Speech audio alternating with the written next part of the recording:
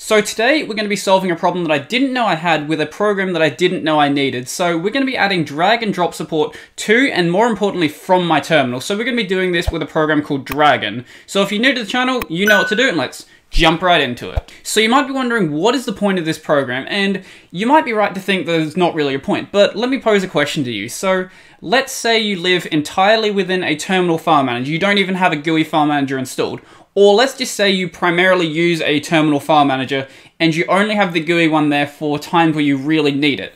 So for example, one of those times is with Discord, or really just any web app. So when you want to send an image on a program like that, you generally have to go through some sort of GUI interface to actually select the image. So what if you didn't have to do it that way though, and you could just drag something in directly from your terminal file manager? Like for example, let's let's just have a look at an example. So I've got Discord open right here.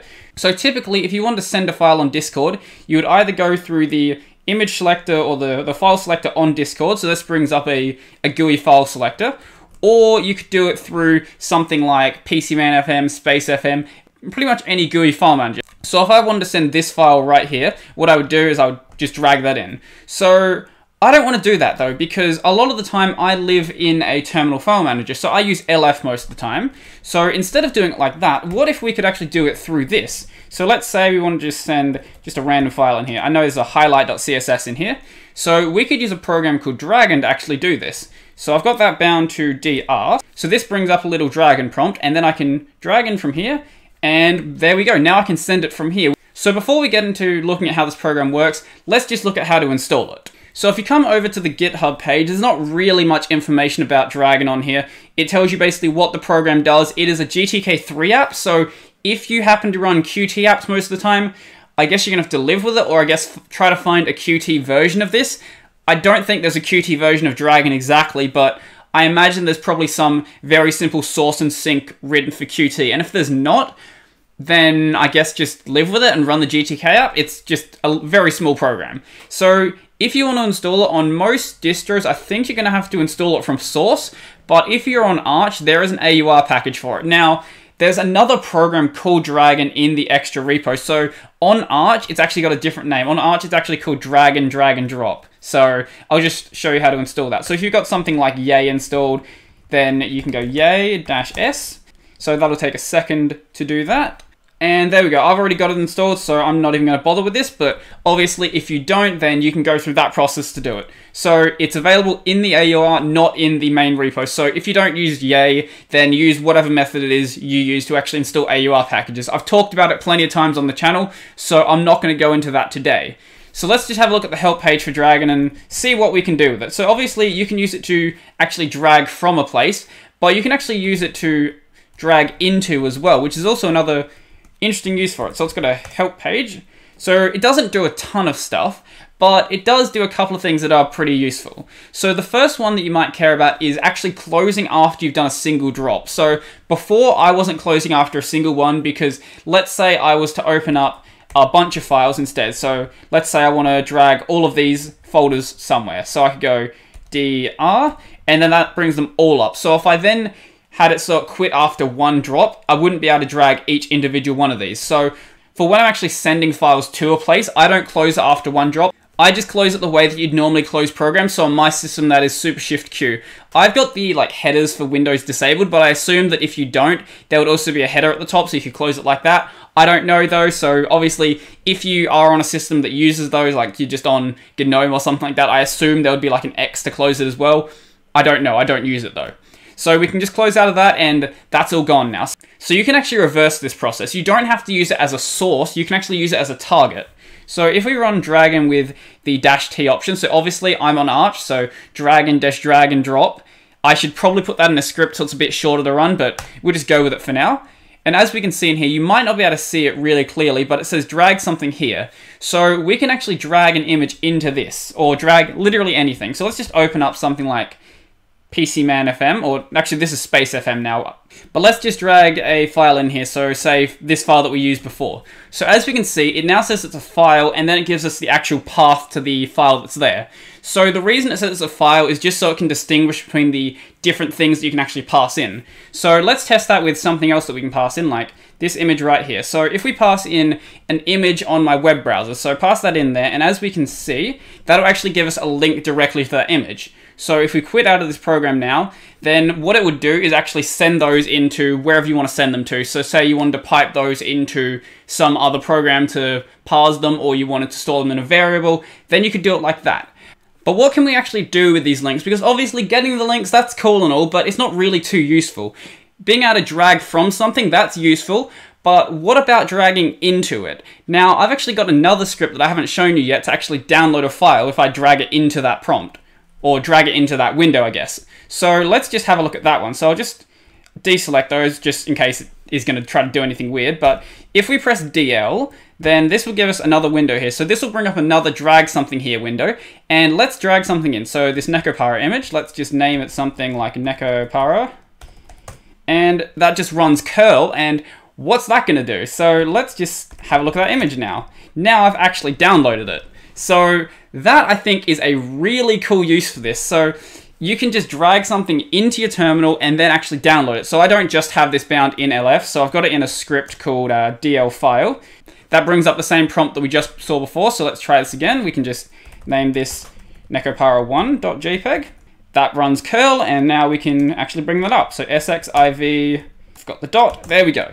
And as we can see, that now brings up the image. It's behind my terminal, but it brings up the image. So you don't just have to use this for images, you could use this for anything that you could actually drag from a, another place into this window. So if you wanted to drag a file in, you wanted to drag a website, you want to drag literally anything, the most common place you're going to use this is from your web browser, but it doesn't also have to be from that.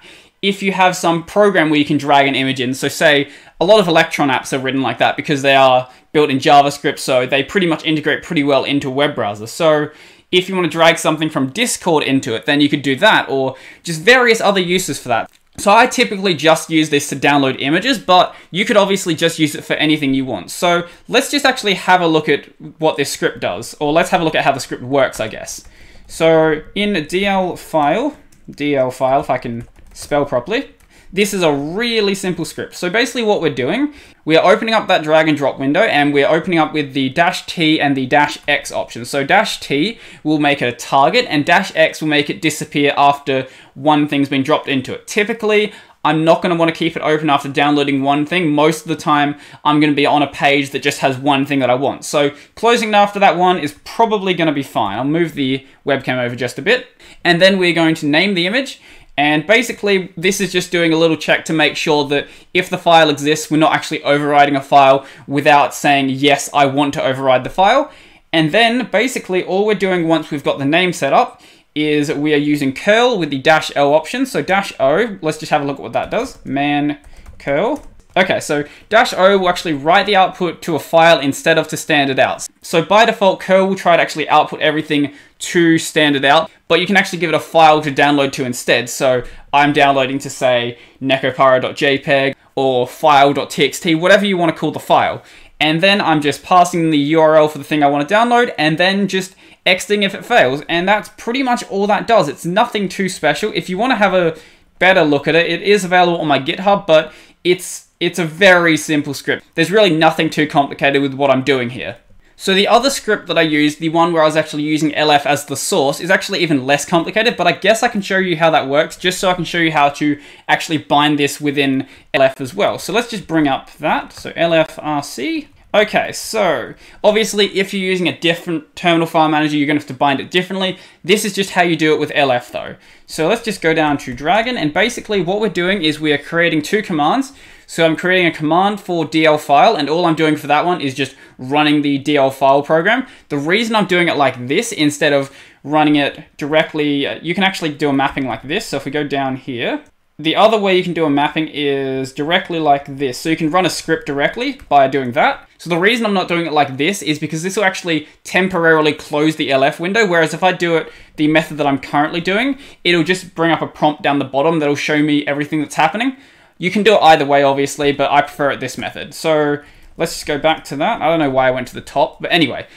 Now with Dragon, the, what I'm doing here is I'm running dragon drag and drop. So I'm not even running any custom stuff with it, and then I'm running it with the dash A option. So that'll make it so that I can actually drag everything from it.